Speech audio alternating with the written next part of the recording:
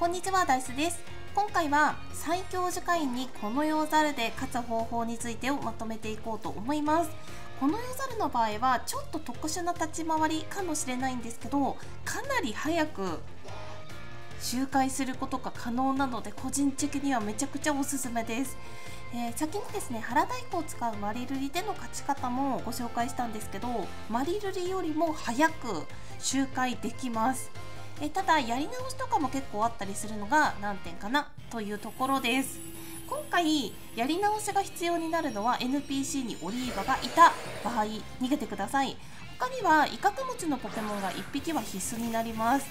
プラスでサーナイトがいたらかなり楽に立ち回りができると思います。それでは実際の立ち回り方です。この夜猿はえ今回挑発をして気合ダメをしてビルドアップをして憤怒の拳をするという感じです。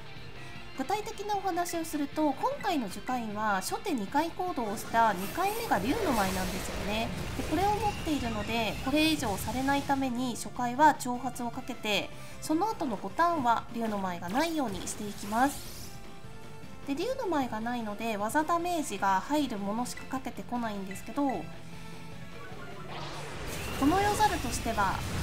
急所に当てていきたいのでその後のターンが気合ダメです。でちなみにえフンドの拳を連打し始めるまでのこの3ターンの間で急所に入ってしまったらやり直しをしてください。そっちの方が確実だし結果早く進められると思います。挑発気合ダメビルドアップをしたらフンドの拳を連続で出していきます。フンドの拳は今回持たせてるのが貝殻の鈴なのでダメージを回復してくれます。はいこんな感じで、えー、貝殻の鈴効果で HP の回復をフンドの拳をかけながらしていくという形です。今回樹海院がステータスと特性の効果を消した後ビルドアップを3回かけたいんですけどビルドアップ3回を始める前に必ずフンドの拳で HP を管理してからやってください。これでステータスと特性の効果を消された後なんですけど今のこの夜猿の HP だとオレンジのライン半分ぐらいしかありません。こうなってる時にはフンドの拳を追加でかけて、まあ、テラスタルもためながらっていうのもあるんですが追加でかけて HP をマックスぐらいまで回復してあげてください。そうすることでビルドアップ3回を連続してえかけることも可能です、まあ、途中でフンドの拳を入れてもいいんですけどその間に落ちてしまうのが一番嫌なので、まあ、何もね能力値が上がってない状態になっちゃってるので基本的にここで HP を、えーと、私の場合だと330以上ぐらいまで持っておいっておくと後が楽なのでねそういう風にしています、えーと、バリアも貼られる前なので HP の回復量も多いんですよね。はい。さっきの気合ダメの効果で急所に当てられました。これでバリアになりました。でちょうど HP もえマックスぐらいまで回復になっているのでここからビルドアップを3回していきます、まあ、こんな感じでステータスと効果が消された後すぐビルドアップをするんではなくちょっとね HP の管理が今回は必要になるのですが後でテロップ入れておこうと思うんですけどそこはね簡易的に書いておこうかなと思います。でビルドアップに関しては防御も1段階ずつ上がりますしえ途中で樹海員がね能力値下げてくればその分攻撃が上がってはくれるんですけど基本連続でかけていった方がちょっとずつえ壁がね厚くなっていくのでその後の立ち回り楽だと思います。で途中でこんな感じで竜の舞されたりするんですけど防御値は上がらないので気にせずビルドアップをしていきます。今ちょっと見たんですけど3段階、えーと、攻撃力は上がっててで防御に関しては2段階しか今上がってませんでした。はいビルドアップ3回かけるのは防御をプラス3にしたいからです。まあ、途中でねプラス攻撃力が上がったら上がったで嬉しいんですけど3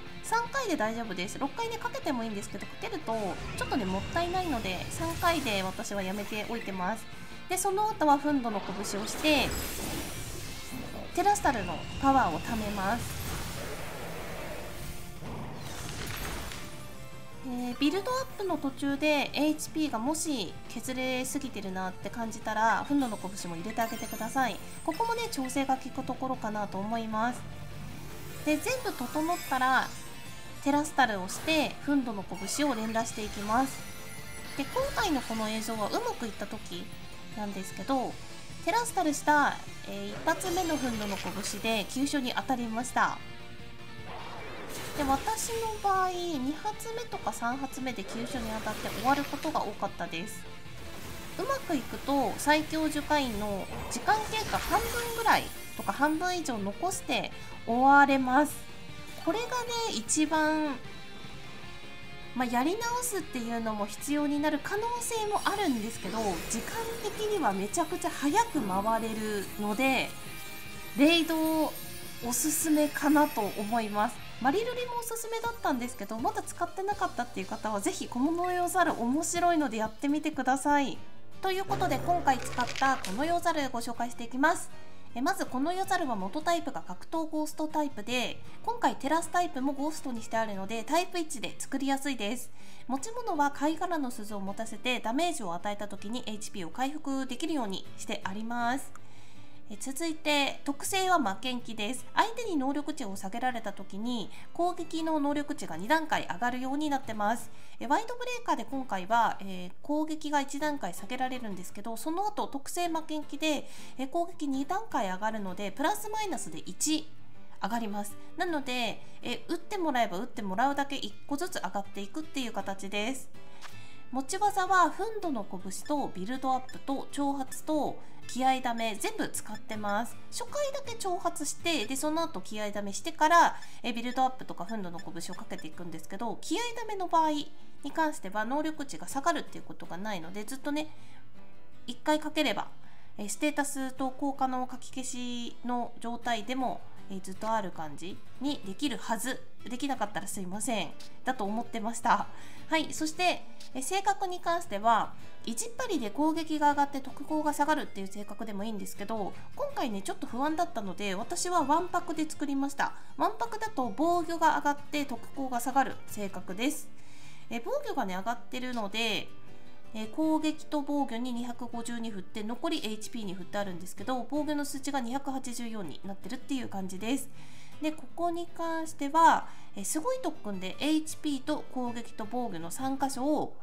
上げてあります。はい、その作りで大丈夫なので金の王冠とか使う数も少なくていいかなっていうのも利点かなと思います。この夜猿の場合はもうあの気合ダメで急所に当たりやすくなってるのでそれを使って憤怒の拳でダメージ入った分だけえ火力も上げていくっていう感じになるので使い勝手はとてもいいですがえっと、1個懸念点があるとしたら樹海員が急所にかなり当ててくるっていう風になってしまうとちょっとですね防御面が厳しくなり気味なんですよね。なのでビルドアップは後半3回かけてます。あとはわんぱくの性格にしてあるのでちょっとはね上がってるような状態。なのでまあいけるかなっていう感じですね。で数回やってみたんですけど私の場合急所に1回当たっても倒れなかったのでやりやすかったです。はい。で癒しのエールに関しては使わないで今回は行ってるんですけど急所に当たっちゃった時はどうしてもこのヨザルの方が後出しになってしまうので憤怒の拳で回復が間に合わない可能性があるため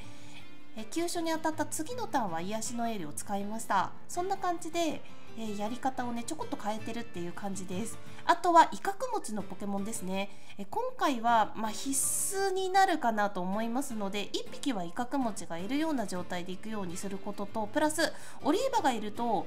えできなくなっちゃうのでオリーバがいる回は逃げます。っていう風にして威嚇持ちのポケモンを1匹はいるような状態で行うようにしています。はいじゃないとこのヨザルの立ち回りがね上手にできなくなるので注意してくださいかなりですね早く周回もできるのでまあちょっとね急所に当たったりするとギャンブル的要素もあるんですけどそれでもかなり早いのでおすすめなポケモンですまだ、え試してなかったなっていう方は是非試してみてくださいこの動画が少しでも良かった方は高評価のボタン、チャンネルのご登録、コメントよろしくお願いします。ご視聴ありがとうございました。それではまた、See you!